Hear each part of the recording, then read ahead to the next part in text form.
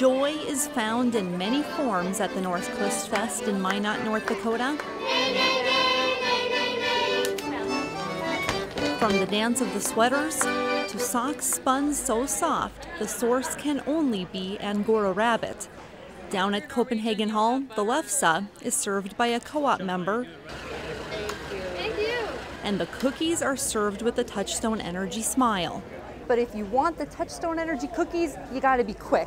Sure, they're going to give away 14,688 of them, but they only give away so many in a day. It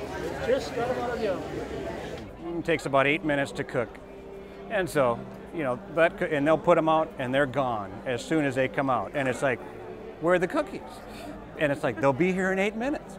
And so they'll go around to the other side to get the cookies that have come out over there. And then they'll come back. Michael Riedman says the Touchstone Energy booth's cookies draw a crowd.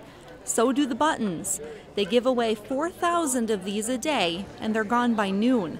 People can win prizes with them, but people can also get co op information. We tell them that Touchstone is a, a branding of all the rural electric cooperatives, just so that you can go from state to state, and if you see the Touchstone Energy sign and the Three Amigos, you know you know you're going to get a square deal. Rick Drown is a Great Plains Synfuels plant retiree and has volunteered here for 11 years. We got a, a tremendous group that we work with up here. They're all nice people. But the Touchstone Energy sponsorship doesn't just help get the word out about co-ops.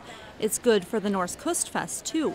Hostfest would not exist today the way it is without the sponsorships. Karen Kresbaugh with Hostfest says more than 65,000 people come to Hostfest from every state in the nation and all over Scandinavia. They belong to a co-op in South Dakota or Minnesota or Montana and they're here and they see it and it's kind of like, oh, you're here. Spreading the word about Touchstone Energy is a perk. And learning all about Scandinavia is another.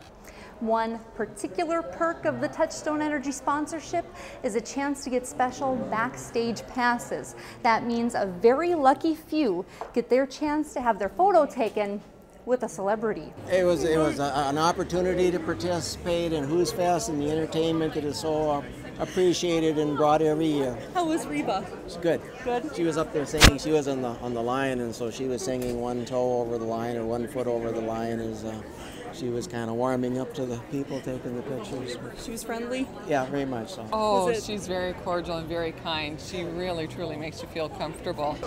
She's shorter than I thought.